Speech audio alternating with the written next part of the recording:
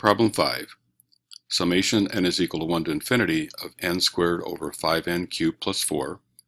We are trying to determine whether this series is absolutely convergent, conditionally convergent, or absolutely divergent, which means we have to test the positive series and the alternating series. So we're going to start with the positive series, which is what I always do first. So part A, we're going to do a limit comparison test on the positive series.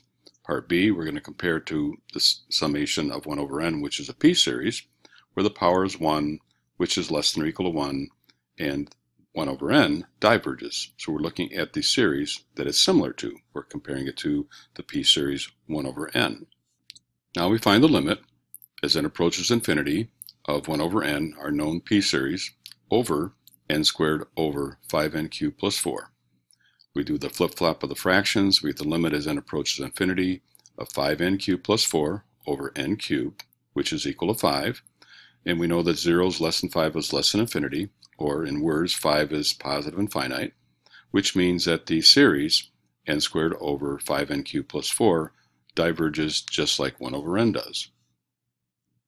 But remember, we are only half done.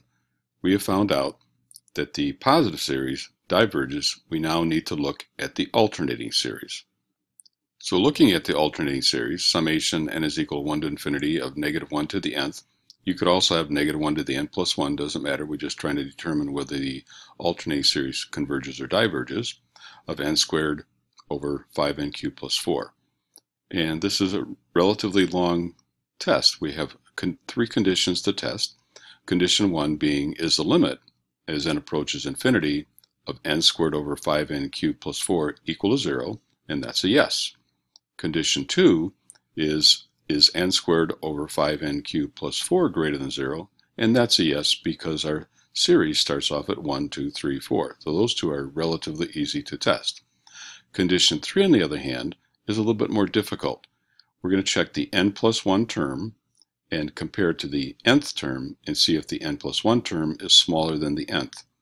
So taking your series, you're replacing n squared with n plus 1 squared. Down below, a little bit more complicated, you have a 5. You erase the n, replace it with n plus 1, cube that, and add 4, and ask yourself the question, is that smaller than n squared over 5n cubed plus 4? And that's quite a mess. When the algebra gets difficult, I choose to check the derivative. All we need to do is check if the derivative is less than 0. So looking at our function, f of n is equal to n squared over 5n cubed plus 4, we're going to find the derivative, which is a quotient rule, which is an, an easy one, but I think it's easier than the algebra. So the derivative f prime of n is equal to, on the bottom I have the 5n cubed plus 4 quantity squared. On the top you have the 5n cubed plus 4 times the derivative of the top, which is 2n, minus n squared, which is the top, times the derivative of the bottom, which is 15n squared. Doing some simplifying, we have the derivative equaling 10 n to the fourth plus 8n minus 15 n to the fourth over the quantity of 5n cubed plus 4 squared. Now we then simplify that to get negative 5n to the fourth plus 8n over that 5n cubed plus 4 squared is at less than 0. Well, the bottom's always positive, so we just have to check the top. And we find out if we use an n greater than 1, that will always be less than 0, and we just need to find some n that will make this true, and it is true. So now we have that the alternating series, negative 1 to the nth, n squared over 5n cubed plus 4, converges since all three conditions were met. We discovered before that the positive series diverged by the limit comparison test, so this series has conditional convergence.